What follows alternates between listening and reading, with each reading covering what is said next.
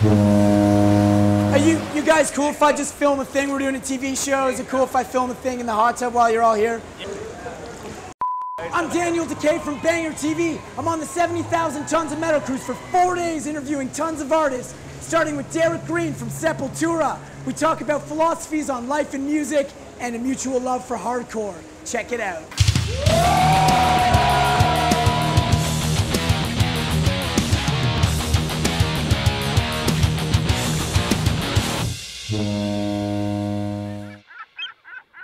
Derrick, man, thanks for joining me out on the Thanks for having me. balcony here. This gorgeous Yes. View of nothing. Yeah, The open sea. no land in sight. I want to uh, get to know you a little bit and kind of talk about the beginnings, how you got into music, you know, the humble beginnings out in uh, Cleveland, Ohio, I believe. Right. Yeah, I mean, for me, music has always been a big part of my life. My mother was a music teacher, um, and so I would hear music all the time growing up. In school, that's where it really kicked off that possibly I could do something with my voice. I was forced to take a choir class, and I was really bummed out about it, but my teacher was emphasizing how great my voice was for the fact that it was baritone bass. There's not many people that have that that style of voice. So this was something that I started to think about. It was great, you know, it was a very positive thing to grow up with, you know, having music in my life, but it started at a very young age.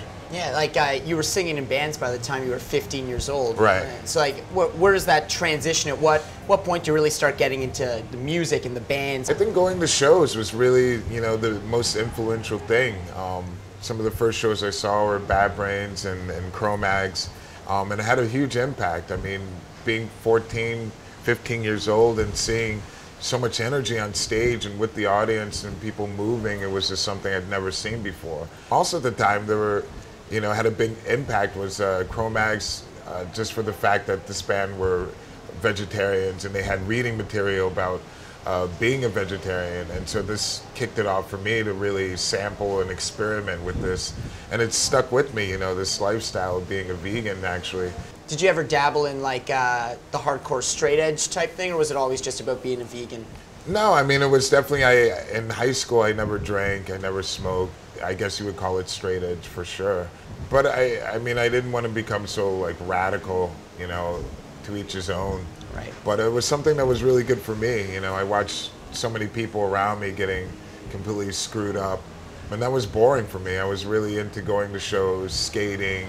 I loved sports as well, you know, and so this combination had no space really for, you know, boozing and doing a lot of drugs. It seems that family's really important from the influence of your mom to uh, your first record you named after your dad. Mm-hmm. Right. Has fa- family always been a huge, a huge important role? Uh, in your life? Absolutely. They were extremely positive role models, but they were very supportive, you know, in everything that I pursued, even though they didn't really understand everything about hardcore or punk rock. And they actually were at a, Sepultura show, you know, like front row, you know, and they just didn't realize there was going to be a pit there. But the fans were just like, maybe you want to step back a little bit. And but they were just like really happy to see so many people into the music, into what I was doing. So, at a certain point uh, in your teen years, you leave Cleveland Right. and you go to New York and you hook up with some uh, pretty heavy hitters in the, the New York hardcore scene. How did you kind of get immersed in, into that world and what, what did that kind of do for you?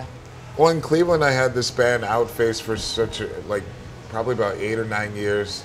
Um, I moved to New York with the guitarist uh, Charlie Garriga, but then he started to play in another band called Civ, and I ended up just doing my own thing, trying to make everything work.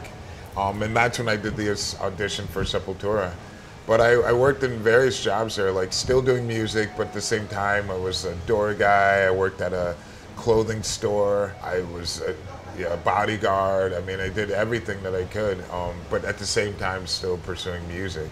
Did the focus ever shift from hardcore and punk into more of like a, heavy metal focus in your life, or has hardcore and punk always reigned supreme?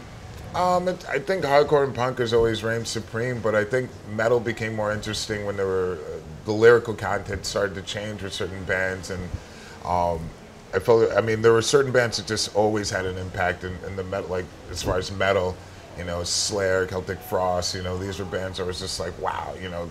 even in the hardcore scene, I was like, this is incredible. And with Sepultura, I thought it was great. For me, I got really into it on the Arise album, and they start to develop a little bit more of their own personality Yeah. in the music that you can hear. Um, and the lyrical content was getting better and better. Being a, a young guy growing up uh, listening to heavy metal and punk and hardcore, genres predominantly white male Right. dominant. Who were your role models? Was there was there anyone that you looked up to that you could relate to better, perhaps on a lyrical level or Mm-hmm. from where they came from?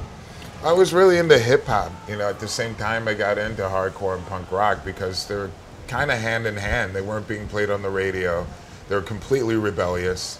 Um, the lyrical content of, of, of a lot of hip hop, like uh, KRS One, was always like amazing to me. And Public Enemy, I mean, their understanding of the language was fascinating. You know, and they're masters at it. And so this, for me, was genius. You know, it really had such a strong impact.